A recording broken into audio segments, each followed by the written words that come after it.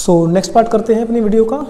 हमने इससे पहले मेथड पढ़ा है चार्जिंग का क्या मेथड था? Charging by friction the next method is charging by conduction this method is mostly useful for charging metals and conductors ज़्यादातर मेटल्स और कंडक्टर को चार्ज करने के लिए चार्जिंग बाय कंडक्शन मेथड का यूज़ करते हैं। इस मेथड के अंदर क्या होता है? फ्रिक्शन के अंदर आपने रबिंग की थी, ठीक है?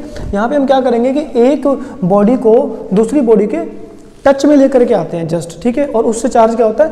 ट्रांसफ़र होता है। तो हम लोग एग्ज़ाम्पल के लिए एक हमने स्फीयर ले लिया है, जो कि एक चार्ज स्फीयर है, और इस स्फीयर को मैं पॉजिटिवली चार्ज करना चाहता हूँ। तो उसके लिए मैंने क्या किया? एक मैंने रोड ली जिसके ऊपर नेगेटिव चार्ज है। अभी तक इस स्फीयर का और इस रोड का कोई कॉन्टेक्ट नहीं है। तो मैं क्या करता हूँ, इस रोड को इस फेयर से टच करा देता हूँ। तो जैसे ही मैंने इस रोड को इस फेयर से टच कराया तो हुआ क्या?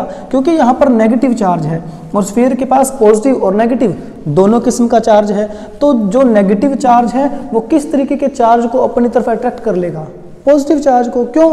क्योंकि unlike charges they attract each other तो क्योंकि यहाँ पे नेगेटिव चार्ज है तो हुआ क्या? इस स्फीयर का जितना भी पॉजिटिव चार्ज था वो इस तरफ़ आ गया और जो नेगेटिव चार्ज था वो इस तरफ़ चला गया। क्यों? क्योंकि नेगेटिव चार्ज ने नेगेटिव चार्ज को रिपेल किया और पॉजिटिव चार्ज को अट्रैक्ट किया।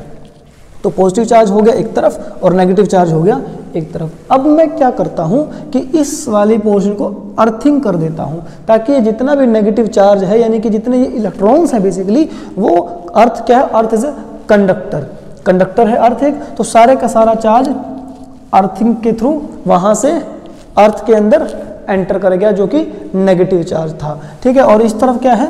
पॉजिटिव चार्ज है। अब अगले स्टेप पे मैं क्या करता हूँ कि मैं इस रोड को यहाँ से हटा देता हूँ? तो ये जो पॉजिटिव चार्ज एक तरफ़ था, अब वो पूरे स्फीयर के अंदर एक्सपैंड यानी कि फैल जाएगा। तो मेरे पास जो एक स्फीयर था, उसे मैंने कैसा स्फीयर बना लिया? एक पॉजिटिवली चार्ज स्फीयर बना लिया। So this is the method of charging by conduction ठीक है? फिर दोहरा देता हूँ चार्जिंग बाय कंडक्शन में एक बॉडी को दूसरी बॉडी से टच कराने के ज़रिए हम चार्ज को ट्रांसफ़र करते हैं।